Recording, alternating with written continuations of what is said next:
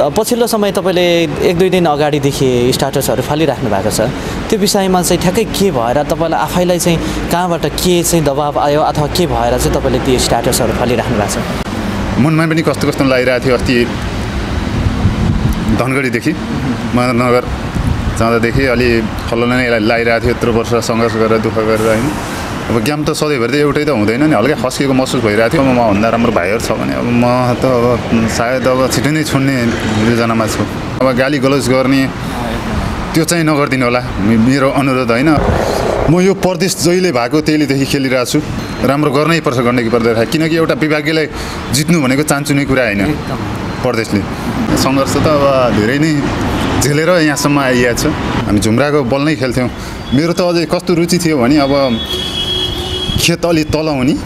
अनि गाई बाख्रा चराउन जाने। अनि सबभन्दा पहिला आएर स्कुलबाट आएर अनि खाजा साजा खाएर सबभन्दा घाँस पहिला ल्याएर अनि नेट बाँध्न पहिला जाने। लास्टमा मै खेल्न पाउँथिनँ बल छोपेर बस्थेँ अब। दर्शकबिन नमस्कार। मेरो नाम हो पुनराम सुनारी। तपाईँ हेर्दै हुनुहुन्छ मेरो खबर टिभी। दर्शकबिन आज हामी सुन्दरनगरी सहर भुटोलमा छौँ। तपाईँले आज हामी कुन विषयलाई लिएर आएका छौँ भन्ने विषय पक्कै पनि तपाईँले हाइलाइट हेरेर थाहा पाइसक्नु भएको छ। दर्शकबिन पछिल्लो समय नेपालको राष्ट्रिय खेल भलिबल निकै लोभलाग्दो बन्दै गइरहेको छ। लोभलाग्दो बन्दै गइरहेको छ टिम गण्डकी प्रदेश। गण्डकी प्रदेशलाई यी उच्च स्तरसम्म पुर्याउनका लागि कप्तानको भूमिका निर्वाह गर्दै आउनुहुने गण्डकी प्रदेशका कप्तान हरि पाण्डेलाई लिएर आएको छु। विशेष अझै पछिल्लो समय गण्डकी प्रदेशका हस्ती गण्डकी प्रदेशलाई यी स्थानसम्म पुर्याउनका लागि निकै ठुलो भूमिका खेल्दै आउनुहुने हरि पाण्डेले आफ्नै सामाजिक सञ्जाल फेसबुकमा विभिन्न स्ट्याटसहरू निकै आरोप लाग्ने आफूलाई निकै दुःख पर्ने खालको स्ट्याटसहरू उहाँले आफ्नै सामाजिक सञ्जालमा छोड्दै आउनुभएको छ। आखिर किन सामाजिक सञ्जालमा तपाईँले यति गण्डकी प्रदेशलाई छोड्ने खालको निर्णय दिने खालको स्ट्याटस छोड्नु भएको छ। यही विषयलाई पनि म उहाँसँग उठान गर्नेछु। भिडियोलाई अन्तिमसम्म हेरेर साथ दिनुहोला। म ढिलो नगरिकन गण्डकी प्रदेशका क्याप्टन हरि पाण्डेलाई हाम्रो फ्रेममा ल्याउन चाहन्छु। क्याप्टन साहब मेरो खबर टिभी स्वागत छ। धेरै धेरै धन्यवाद। नमस्कार सम्पूर्णमा। आज हामी सुन्दरनगरी सहर बुटोलमा छौँ। होइन खेलकै क्रममा तपाईँसँग आज भेट भएको छ। कसरी दिन बिताइराख्नु भएको छ अहिले चाहिँ? दिन हाम्रो अहिले पछिल्लो समय रेगुलर नै टुर्नामेन्टहरू भइरहेछ। हामी गेममै छौँ भनौँ। अहिले चाहिँ गेमकै सिलसिलामा हामी अहिले भेट भएको छ मणिमुकुण्डको काम अहिले पनि हामी मणिमुकुन्द कपमा छौँ। हामी हाम्रो लिग चरण चलिरहेको छ। हामी दुईवटा गेममा विनर भइसकेका छौँ। भोलि हाम्रो साढे दुई बजे एबिएफसँग गेम छ। अनि त्यसपछि पर्सि चाहिँ यहीँ आयोजक टोली लुम्बिनीसँग छ। अब एउटा गेम जित्यो भने सायद हामी सेमी फाइनलको यात्रा तय गर्नेछौँ। एकदमै। दर्शकहरूको यो चाहना पनि हुन्छ कि? जुनै पनि टुर्नामेन्टमा गण्डकी प्रदेश चाहिँ फाइनलमा प्रवेश हुनैपर्छ है भन्ने धेरैको माग हुन्छ। अहिलेको यो मणिमुकुण्ड कपमा चाहिँ कतिको सम्भावना छ गण्डकी प्रदेश फाइनलमा प्रवेश गर्नको लागि? अहिले हेरौँ अब हाम्रो तिनजना प्लेयर चाहिँ विदेश जानुभएको छ हाम्रो सेट टिमकै। अहिले नयाँ भाइहरू हुनुहुन्छ। हेरौँ अब प्रदर्शन कस्तो हुन्छ नयाँ भाइहरूको? अहिलेसम्म आउँदाखेरि अहिले तपाईँहरू दुई सेट दुई टिमलाई चाहिँ पराजित गर्दै जित हासिल गर्नुभएको छ। अहिलेको अहिलेसम्म चाहिँ टुर्नामेन्ट अहिले खेलिराख्दाखेरि चाहिँ कतिको सन्तुष्टपूर्ण चाहिँ खेल भइरहेको छ? सन्तुष्ट त अब ठिकै छ नयाँ भाइहरू छ केही कमी कमजोरी भइरहेछ अवश्य नै। अब बिस्तारै भाइहरू पनि राम्रो गर्दै गयो भने अवश्य नै केही अब भोलि इपिएफसँग छ। अलि हिजो आज हिजो आजभन्दा अझै राम्रो गेम हुनेछ भन्ने आशा गरेको छु भाइहरूदेखि। सबै नयाँ नयाँ सबै त नभनौँ होइन फिफ्टी पर्सेन्ट नयाँ नयाँ मात्रै देखाएको छ मैले चाहिँ अनुहारहरू हुन त जिल्ला स्तरीय पालिका स्तरीय त खेलिराख्ने खेलाडी नै हुन् सबै। तर गण्डकी प्रदेशका लागि नयाँ अनुहार लिएर आउनु भएको छ। भनेपछि सन्तुष्ट नै खेल भइराखेको छ अहिले चाहिँ। एकदम अवश्य नै अब बिस्तारै अब नयाँ अनुहारलाई नै देखाउँदै जाँदै एकैचोटि कोही पनि उत्पादन हुने होइन अब बिस्तारै चान्स दिँदै जाँदै गर्दा चाहिँ अब भाइहरू पनि जोस् राम्रै खेलिरहेछ अहिलेसम्म। अब हेरौँ भोलि पनि राम्रै खेल्नेछ भन्ने आशा गरेको छु। धेरै गण्डकी प्रदेश पहिला चाहिँ सुरुवाती दिनमा चाहिँ गण्डकी प्रदेश भनेर नाम कसै नसुनिने भलिबल क्षेत्रमा। जब तपाईँको कप्तानीमा धेरै खेलहरू भयो कतिौँ खेल भइसकेको छ होइन तपाईँको कप्तानमा। सुरुवाती दिनमा तपाईँले यो भलिबलको जीवन जीवनयात्रा सुरु गर्दाखेरि कसरी तय गर्नुभएको थियो? हाम्रो यो भलिबलको यात्रा पहिलो हाम्रो पश्चिमाञ्चल थियो। हामी पहिले हामी सातौँ पनि पश्चिमाञ्चलदेखि खेल्यौँ होइन नेसनल गेम। हाम्रो पहिलादेखि नै हामी खुल्ला गेम धेरै खेलेर हिँडिन्थ्यौँ। हामी एकजुट जताको भयो नि कुनै जिल्ला उस नभनिकन हामी सिङ्गो टिम बनेर हिँडिन्थ्यो। त्यसरी पनि हामीलाई सहज भएको थियो। पछि त पहिलो उसमा त धेरै नै सङ्घर्ष गरेर यहाँसम्म आयो। धेरै दुःख अब धेरै कुराहरू सहेर नै यहाँसम्म आयो। ठ्याक्कै गण्डकी प्रदेशमा तपाईँले यसरी टुर्नामेन्टहरूमा खेल्दै हिँड्नु भएको चाहिँ ठ्याक्कै कति वर्ष भयो भन्नुपर्दा म यो प्रदेश जहिले भएको त्यहिलेदेखि खेलिरहेको छु। त्यहाँभन्दा पहिला पनि पहिला हाम्रो पश्चिमाञ्चल थियो। पश्चिमाञ्चलदेखि पनि धेरै टुर्नामेन्टहरू खेलिरहेको छु नेसनल टुर्नामेन्ट। अहिले अब रेगुलर छु प्रदेश भएदेखि त रेगुलर नै छु। एकदमै। तपाईँ ठ्याक्कै भलिबलमा योगदान दिएको जीवन आफ्नो जीवन योगदान दिएको ठ्याक्कै भन्नुपर्दा कति वर्ष भयो होला? म नेसनल गेम खेल्न सुरु मेरो नेसनल गेम चाहिँ दुई हजार चौधमा भएको थियो पोखरामा नेसनल गेम। त्यहाँदेखि रेगुलर नै कन्टिन्यू नै छु पश्चिमाञ्चल अहिलेको गण्डकी रेगुलर नै छु। सुरुवाती दिनमा पहिला पहिला त भलिबल के हो भन्ने खासै दर्शकहरूलाई पनि रुचाउने खेल थिएन।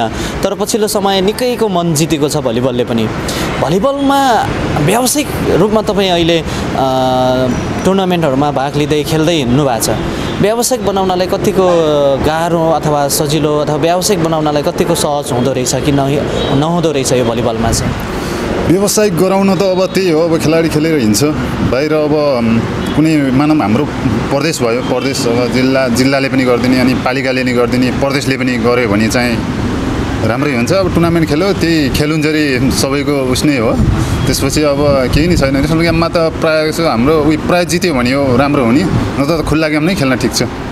अहिले नेसनलभन्दा खुल्ला जस्तै के के छ त्यो प्राइजहरू के हुन्छ खास नेसनल गेममा अलिक फरक खुल्लामा फरक भन्नुभयो कसरी फरक चाहिँ हुन्छ? नेसनल गेममा अब प्राइज त राशि त ठुलो नै हुन्छ किनकि अब सिभिल टिमलाई अब एउटा विभागीयसँग खेल्नु पर्दा सधैँ जित्छ भन्ने छैन नि त। अहिले पनि गण्डकीले जितिया छ र दुई चार पैसा सबैलाई भइरहेछ होइन? अब त्यो हामी हार्ने हो भने त्यो आउन जान भाडा अब आठ नौ दिन टुर्नामेन्ट भ्या- सिद्धिन लगाइहाल्छ अनि त्यो त उस नै हुन्छ आठ नौ दिनमा त बाहिर गेम खेल्यो भने त दुईवटा टुर्नामेन्ट त खेलिहाल्छ। त्यस्तो छ त्यही भएर अब गाह्रो नै छ। तपाईँ कालीगण्डकी गाउँपालिकाबाट अहिले चाहिँ नयाँ आएको कालीगण्डकी गाउँपालिकाबाट तपाईँ सुरुवात जन्म चाहिँ त्यो ठाउँमा भएको। तर भलिबलको जीवन चाहिँ कसरी सुरुवात गर्नुभयो? सुरुवाती दिन सम्झिँदाखेरि कसरी सम्झिनुहुन्छ? मेरो चाहिँ सुरुवाती दिन भन्नुपर्दा म सानोदेखि नै भलिबल झुम्राकोदेखि नै नौ दस वर्षबाट म खेल्थेँ। सानोमा गाउँमै खेल्थेँ। मेरो पढाइ नि नौसम्म गाउँमै पढाइ हो। हामी झुम्राको बल नै खेल्थ्यौँ।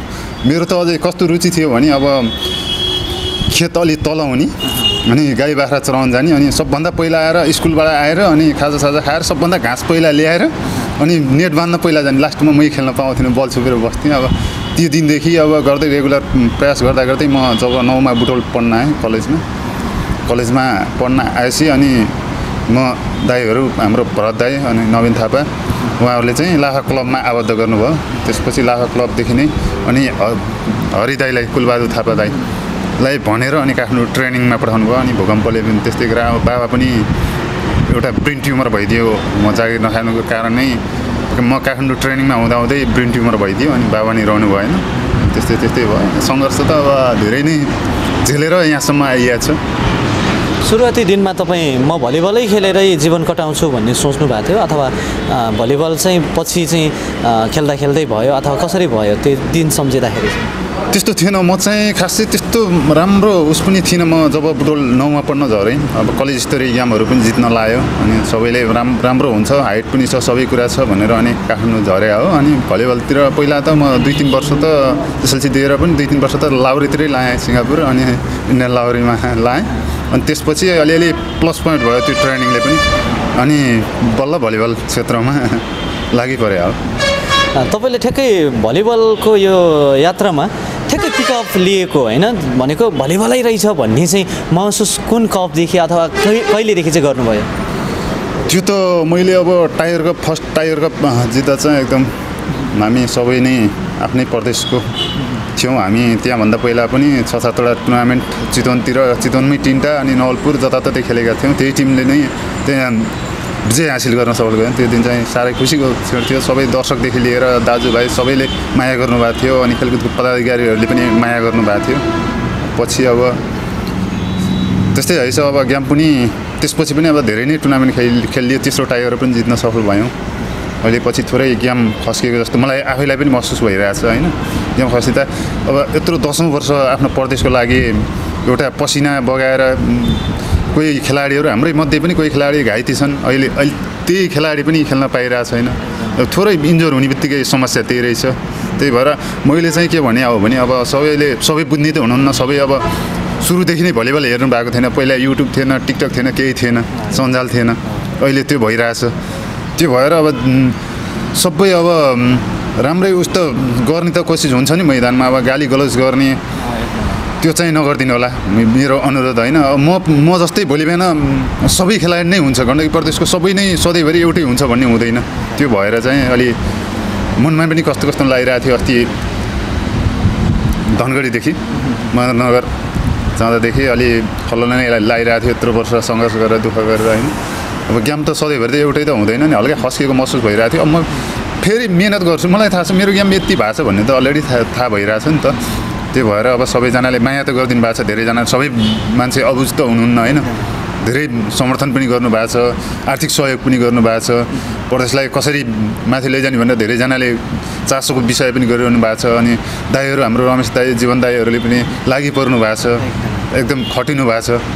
अनि हाम्रो अजियोले पनि सक्दो प्रयास गर्नुभएको छ। अझै अझै अजियोले चाहिँ हाम्रो प्रदेशमा हामीलाई के खे खेलेर मात्रै होइन केही गर गरेर पनि कुनै सम्बन्धित निकायमा भनेर हुन्छ कि के गरेर हुन्छ खेलाडीलाई राम्रो व्यवस्था गरिदियो भने अब आउने नयाँ पिँढीलाई हामीलाई हामीलाई जे जस्तो भए पनि अब नयाँ पिँढीलाई राम्रो हुने थियो भन्ने आशा राखेको छु। एकदमै। तपाईँ आफै पनि गुनासो अहिले ठ्याक्कै निकाल्नु भयो मैले पनि यही प्रश्न गर्छु भनेर बसिराखेको थिएँ। जसरी गण्डकी प्रदेश हाई हाई तपाईँकै कप्तानमै भयो भनेर अहिलेका दर्शकहरूले खेलप्रेमी महानुभावहरूले पक्कै पनि महसुस गरिराख्नु भएको छ।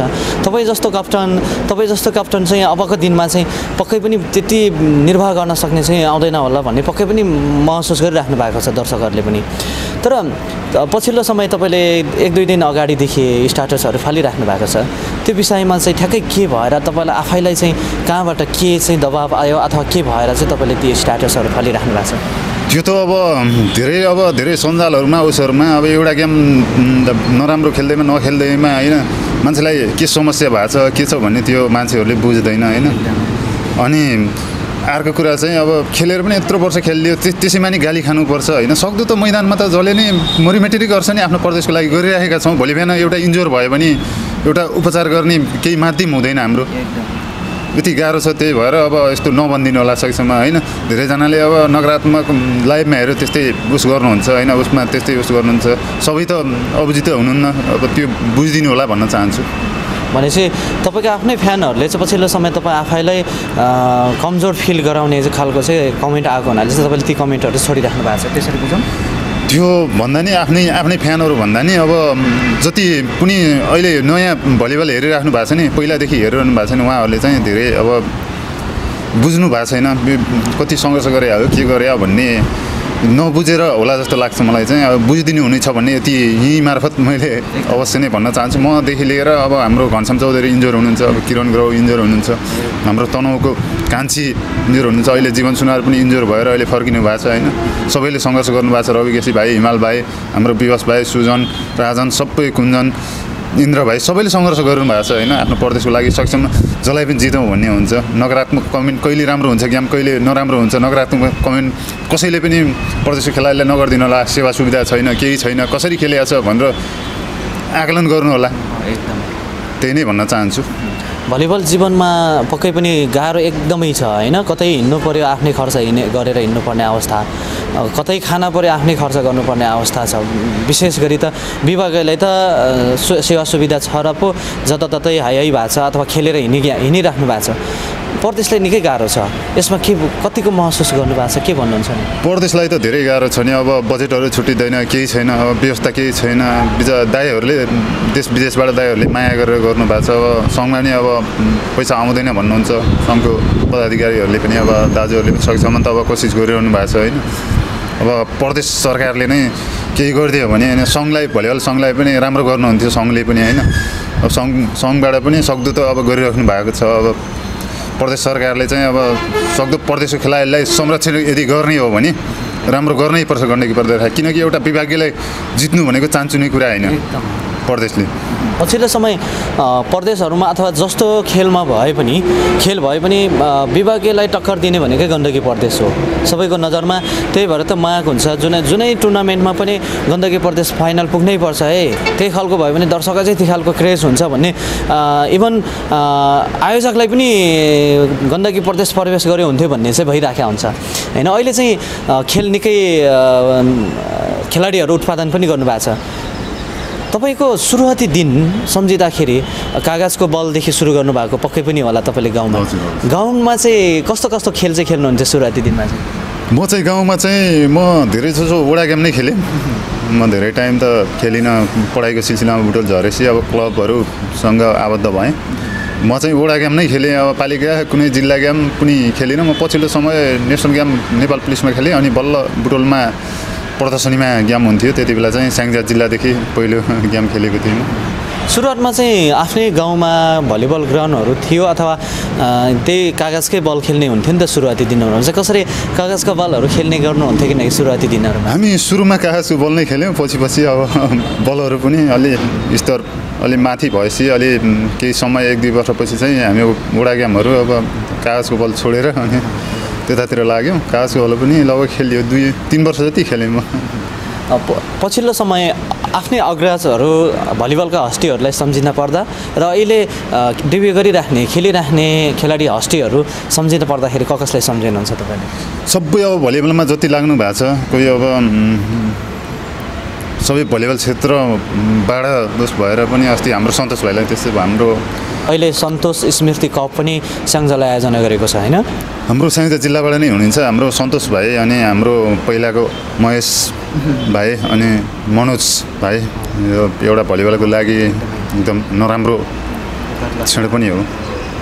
अनि हामी चाहिँ स्याङ्जा जिल्लादेखि नै खेल्ने छौँ जिल्ला स्तरीय गेम भन्नुभएको छ। अब भाइको लागि सक्दो मैले पनि अब कुन ठाउँबाट हुन्छ सफल गराउनुपर्छ भन्ने त्यो एकदमै उदाहरणीय काम हुँदैछ स्याङ्जाबाट।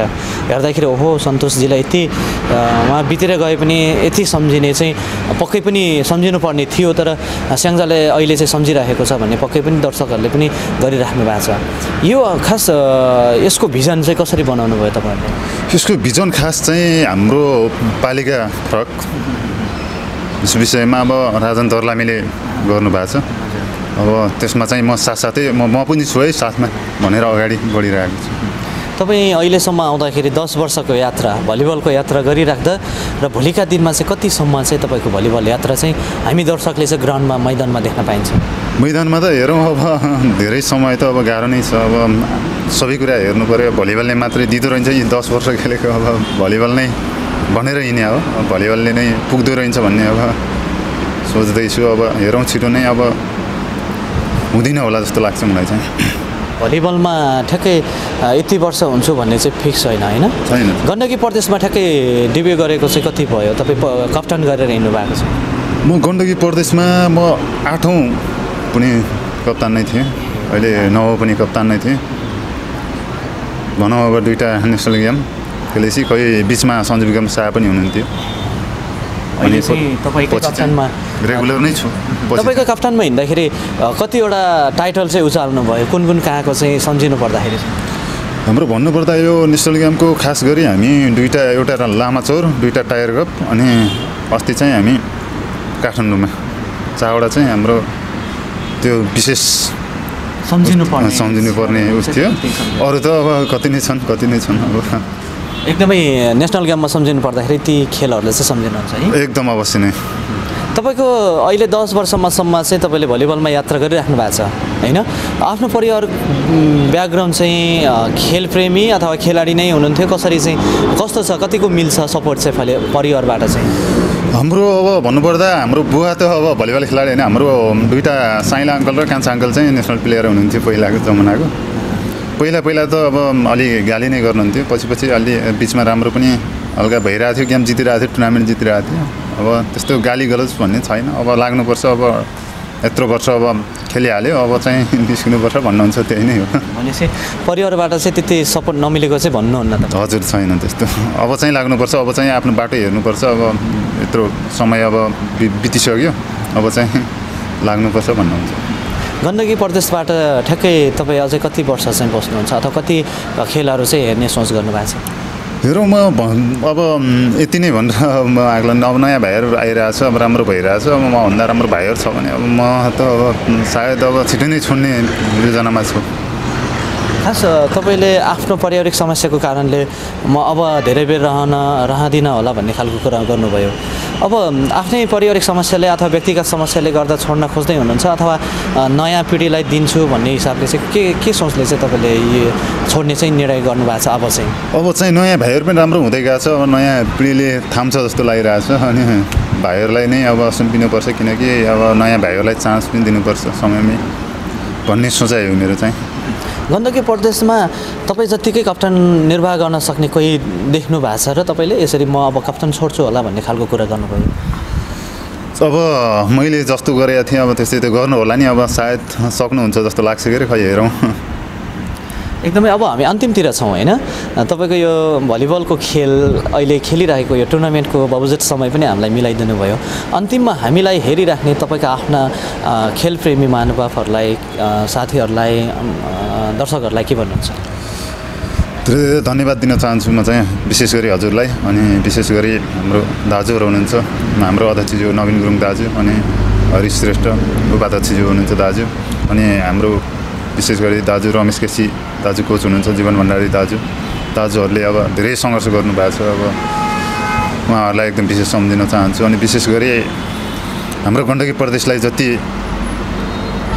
माया गर्नुहुन्छ देश विदेशमा रहेर पनि सम्पूर्ण दिदीभाइ दाजु बुवा आमा सम्पूर्णलाई धेरै धेरै धन्यवाद दिन चाहन्छु। त्यसै गरी हामीलाई जुनै ठाउँमा गएर पनि कहिले धनगढी होस् सुर्खेत होस् पूर्व होस् पश्चिम होस् जता पनि हामीलाई माया दिनुभएको छ उहाँहरूलाई पनि म यहीँदेखि धेरै धेरै धन्यवाद दिन चाहन्छु।